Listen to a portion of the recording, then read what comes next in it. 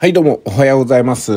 お疲れ様です。4月21日金曜日、今週最後の相場解説になります。時間にして朝6時ですけども、今日最後の上昇圧力が来るとね、さらに週間の含み益っていうのが大きくなるんで、私はそうなってほしいなと思うんですけども、さあ、実際はどうなるでしょうか。まずは冷やしを見ながらチャンネルラインを改めて引いてみます。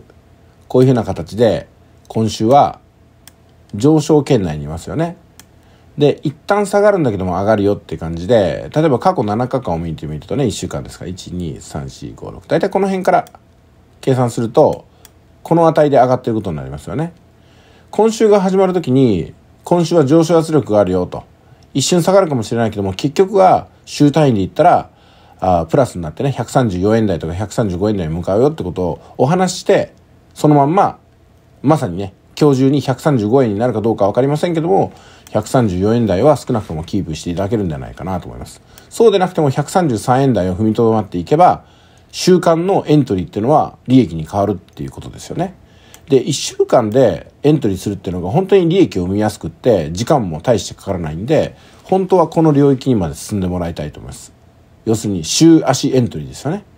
でも今、デイトレードって言って基礎を積んでるところなんで、1日の間で勝った負けたをやるわけですよ。で、そのための勝った負けたの指標がテクニカルです。このテクニカルは時間軸が変わってもそのまま通用しますからね。マルチタイムフレーム分析って言って今日も日足から見ていって4時間見て1時間って見ますけども、これね、全時間が養われてることなんですよ。ここをまあ念頭に置きながら今日の解説を見ていってください。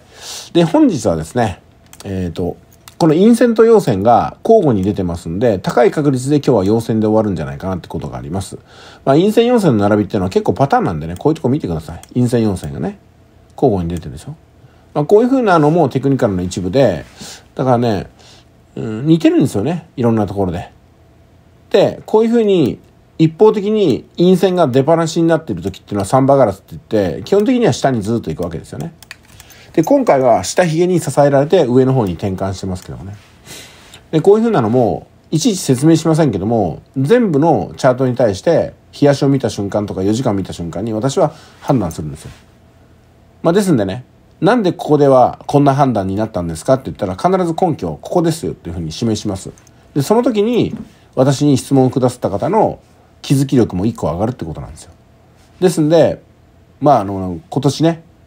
FX オリガルヒが始まってもうすぐ1年になるわけですけどもこの1年の間にすごい実力をつけた方っていうのはやっぱり的確な質問に対して私の回答をしっかりと受け止められた人になります。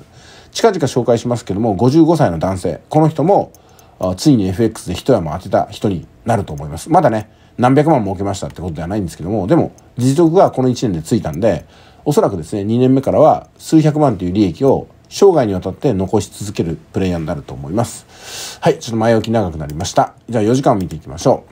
う。4時間も上昇圧力がついてくると思います。というのが、すぐ忘れるんで思い出してもらいたいですけども、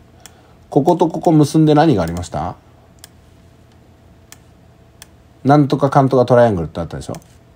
ね。肝心なのはここです。この抵抗を破ったわけなんで、たとえここで下がることがあっても、まあ人によってはね、高値圏でヘッドアンショルダーとか言い出すかもしれないですよ。確かに4時間のヘッドアンショルダーこれ高値圏に来てますから。ただこの抵抗体破れないですよ。うん、だから高い確率で、こうなるにしてもここで弾かれて、さらにこの頭を越えて、この頭を越えて、上に突き抜けていくというふうに私は判断しますね。この判断が4時間だけしか見てない人だとどうなるかっていうと、このアセンディングトライアングルにも気づいてない人は、教科書通りにヘッドショルダーで下落っていう風になるわけですよ。結果下落かもしれませんけども、それは、ここの相当強いレジスタブラインを突き破ったってことですからね。だからそのアセンディングトライアングルに気づいてるかどうかっていうのは非常に大きいわけですよ。はい。ということで、4時間軸も上昇に向かうと思います、今日は。はい、じゃあ1時間行きましょうか。肝心なら1時間でどう儲けるかです。じゃあこれがね、上昇に向かうかどうかなんですけども、4時間単位なら上昇でも1時間単位だと果たしてそうなるかなと私は思いますね。というのが今レンジがここに変わってるわけですよ今ここにね。だからこれが上に抜けてもともとのここのねメインのフェーズに戻ってくれればよかったんですよ昨日までの。ただ戻らなかったんですよね。うん、期待してたんですけどもこの陽線が出て頭でこう下に戻っちゃったわけですよ。こちらの130の234に反応して。だからしばらくはこの中でうごうごするのかなと思うんですけども、ここがレジサポ転換であまりにも強い場合、上に抜けるんじゃなくて下に弾かれるってことが考えられますね。で、この時だけですよ。セルの方向にエントリーをするのは。あとは、おおむね、こちらのゾーンに戻ってくると、ゾーンじゃなくてね、あの、レジサポラインに戻ってきてくれると、ボックスの方に戻ってきてくれると思いながら今日午前中を見て、抜けるようでしたら、抜けるようでしたらね、倍で、この流れを取っていきたいなと、利益にしたいなと思います。じゃあ本日は以上です。今週もお疲れ様でした。FX オリガルヒの方はまた追加しますのでお楽しみに。